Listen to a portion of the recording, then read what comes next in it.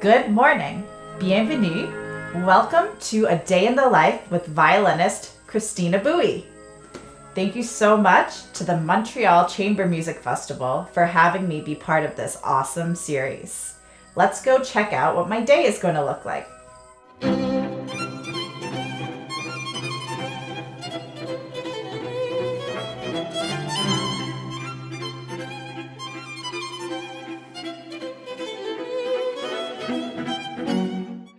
So every morning before anything else, I head straight to the kitchen so that I can make some coffee. It's become my morning ritual ever since I founded the Ulysses Quartet five years ago. Um, I found that I always needed extra fuel to get through the four hour rehearsals that we were doing.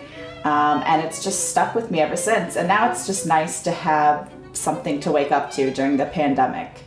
Um, so my one of my favorite coffee beans is the Tanzanian pea berry, and um, I like to grind my beans fresh every morning. Um, it just adds a whole another dimension of freshness. So let's get going to the coffee.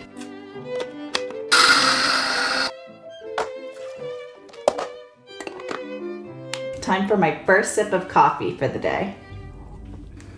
Mmm, delicious.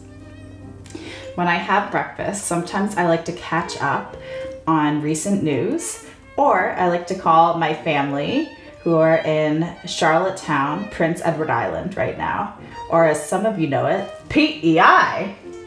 So that's where I got to grow up as a kid. And now I live in New York City and I've been living there for the past 11 years. As I previously mentioned, I'm a member of the Ulysses Quartet and we are in residence at the Juilliard School. Since the pandemic hit, I've been living in upstate New York with my husband Michael and our two awesome friends, Seth and Kim. I'm going to show you today how um, my life has been since the end of March and how it has evolved over the summer. So you'll get to see a typical day, uh, what I do, and also some special things that have happened in between. Time to get ready for the day.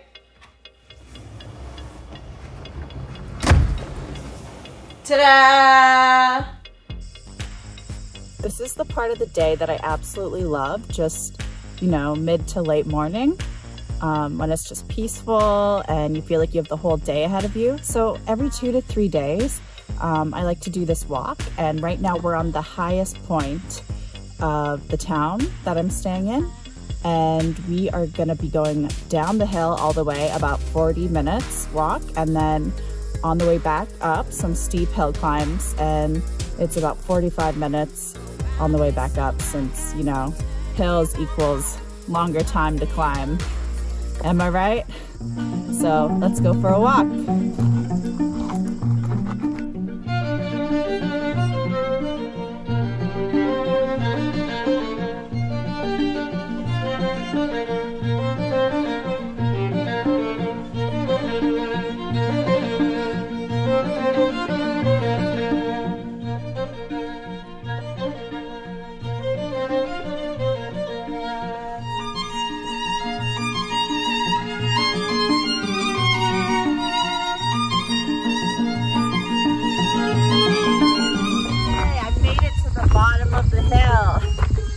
That was the easy part, unfortunately, but we do have a beautiful view here. So that's a nice reward, a halfway point reward.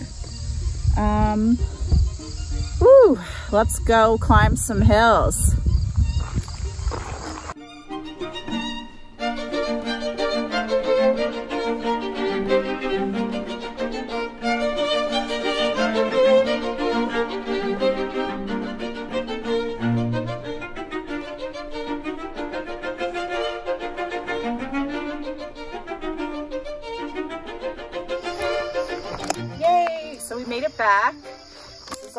House right now.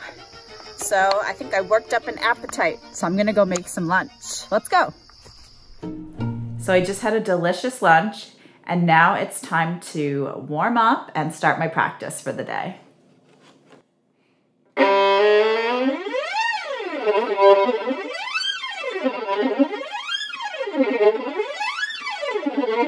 This violin to my right is a gorgeous Stradivarius from the year 1728 on loan from the Juilliard School. And this violin right here to my left is an 1820 Pressenda on generous loan from the Canada Council.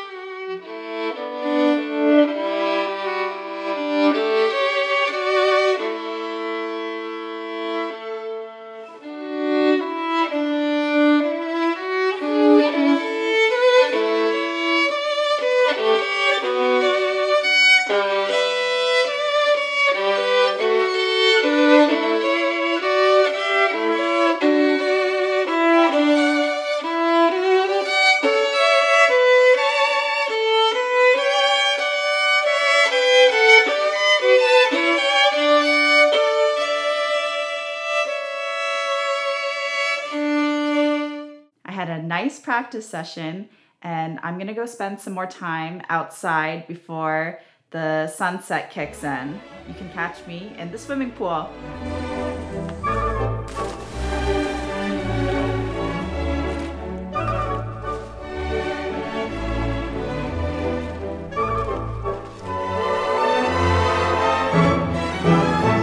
It's past five o'clock here, time for relaxing, and with my wine in tow, it seems like the perfect opportunity to tell you about a new project that I have been working on called Wine Wednesdays. It's a series about wine um, where I choose a wine of the week and I pair it with a classical music piece for you to enjoy. So it's been a lot of fun filming those. And my husband, Michael Sinicropi, has been amazing doing all of the videography, editing, audio, you name it. So I'm super lucky to have my own engineer in house. Besides Wine Wednesdays, I've also been giving many live stream concerts with my friend Seth Gross Handler, who plays piano, and of course, my husband, Michael, on trumpet and doing all of the behind the scenes video slash audio work. And it's been a really great way to stay connected to fans and people that just need music in their lives right now. I think the internet is such a strong tool during these really hard times. I think if we didn't have, um, you know, social media or use of giving concerts online, I think this time would be so much darker. While giving live stream concerts and recording my own projects has been super rewarding, I do miss seeing my quartet and rehearsing and performing with them. But we did, however, have a super unique opportunity to play together this past summer, and we gave a live concert online for the Naumburg Orchestral Concert Series.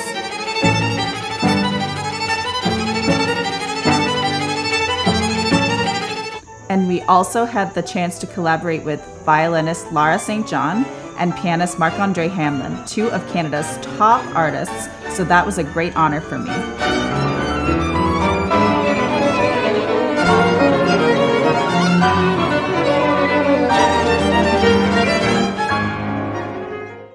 Tonight for dinner, um, I'm making kalbi, which is um, marinated short ribs in the Korean cuisine. Um, and I have to be honest that I definitely was not into cooking before the pandemic started, but I've gotten really into learning how to cook different things, and especially Korean food since I'm half Korean and it's in my heritage.